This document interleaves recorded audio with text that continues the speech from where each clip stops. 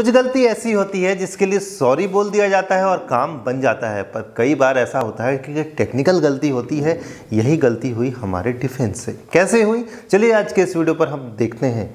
एक मिसाइल जो कि पाकिस्तान के 124 किलोमीटर अंदर तक गई और वहाँ पर गिरी भारत के द्वारा।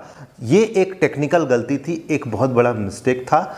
में रूटीन मेंटेनेंस के दौरान ऐसा कुछ मिस्टेक हुआ और मिसाइल अचानक से चली गई और सोचिए, पाकिस्तान के अंदर 124 किलोमीटर अंदर तक गई।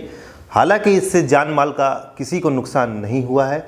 मिनिस्ट्री ऑफ़ अफेयर और डिफेंस ने साफ़ साफ़ कहा है, यह एक टेक्निकल मिस्टेक है और काफ़ी बड़ा खेद जताया है।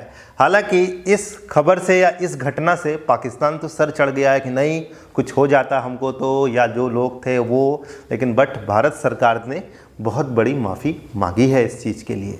आशा करता हूँ दोस्तों, कम समय में ये इंपॉर्टेंट इन्फॉर्मेशन आपको अच्छी लगी होगी। तो चलिए मिलते हैं अगले इंटरेस्टिंग वीडियो में। वीडियो देखने का बहुत बहुत धन्यवाद।